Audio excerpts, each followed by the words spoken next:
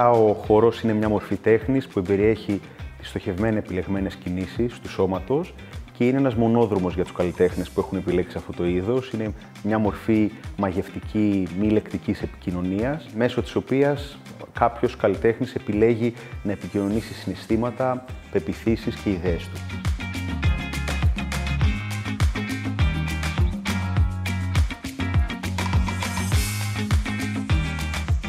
Ξεκίνησα από το χώρο του αθλητισμού. Ήμουν αθλητής θύβου, στην πορεία ξεκίνησα να σπουδάζω φυσική αγωγή και σπουδάζοντας φυσική αγωγή γνώρισα την τέχνη του χορού.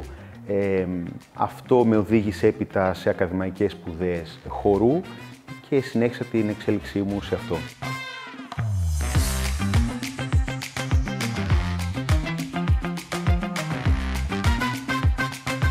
Ολοκληρώνοντας τις σπουδές μου στον τομέα του χορού, ε, αυτό που είχα πάντα ως μέλημα ήταν να καλύψω τις διαφορετικές εκφάνσεις της κίνησης και του σώματος.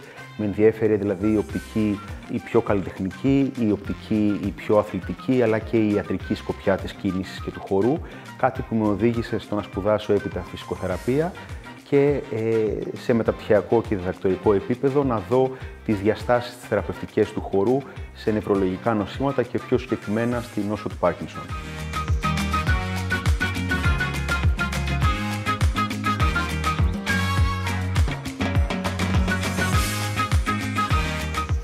Ένα μεγάλο ερώτημα είναι αυτό, αν τα επαγγέλματα έχουν φύλλο ή τα φύλλα έχουν επαγγέλματα.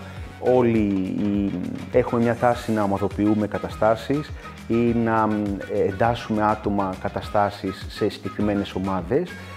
Ε, όλο ένα και περισσότερο φαίνεται ότι φεύγουμε από αυτό το κικαιώνα των στερεοτύπων και ενώ παλαιότερα πιστεύαμε ότι ο πιλότος είναι άντρας, η δασκάλα είναι γυναίκα, ενδεχομένως και η χορεύτρια είναι γυναίκα, ε, βλέπουμε όλο ένα και περισσότερο αγόρια να έρχονται στον χώρο του χορού και να σπουδάζουν ακόμη και σε επίπεδο ανώτερο αυτό, αυτή την τέχνη που φαινόταν ότι παλαιότερα αποτελούνταν κυρίως από γυναίκες.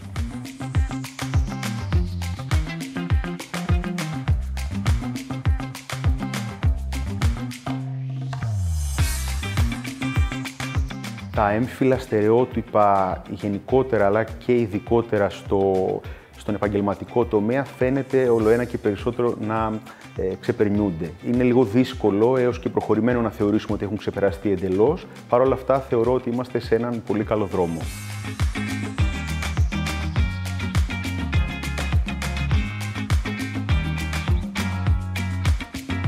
Παρότι θεωρούμε ότι είμαστε μια ανδροκρατούμενη κοινωνία, ε, ο χώρος του χορού φαίνεται να κυριαρχούν οι γυναίκες. Παρ' όλα αυτά, ο χορός φαίνεται να κακοχαρακτηριζόταν ακόμη και για το γυναικείο φύλλο στο περασμένο αιώνα. Ε, στις μέρες μας, ο ρόλος της γυναίκας στον, ε, στο χορό είναι αρκετά ισχυρός, αλλά οι άντρες ε, περνάνε έναν δικό τους αγώνα για να ισχυροποιήσουν τόσο στην οικογένειά τους το στενό οικογενειακό κύκλο όσο και στον ευρύτερο κοινωνικό κύκλο τη θέση τους στην επαγγελματική στο χώρο.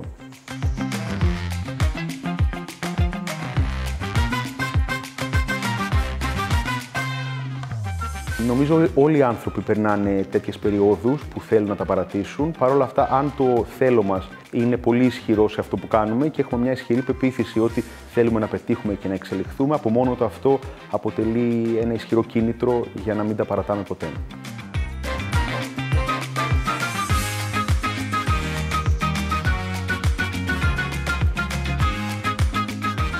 Το εγγενές μου χαρακτηριστικό της φιλομάθειας θεωρώ ότι είναι το πιο ισχυρό ε, που με κρατάει στο να συνεχίζω. Δηλαδή, μόνιμα θέλω να νιώθω ότι εξελίσσομαι, ε, μαθαίνω κάτι καινούριο, ε, σπουδάζω και αυτό είναι που μου δίνει και μεγαλύτερο κίνητρο στο να παραμένω ενθουσιώδης στο χώρο μου.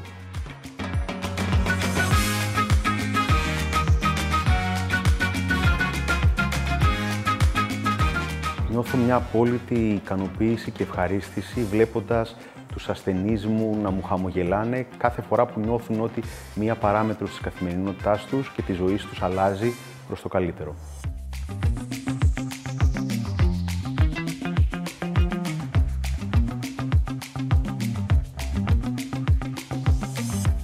θα ήταν αρκετά προχωρημένο να πιστέψουμε ότι έχουμε υπερκεράσει εντελώς τα επαγγελματικά έμφυλα στερεότυπα.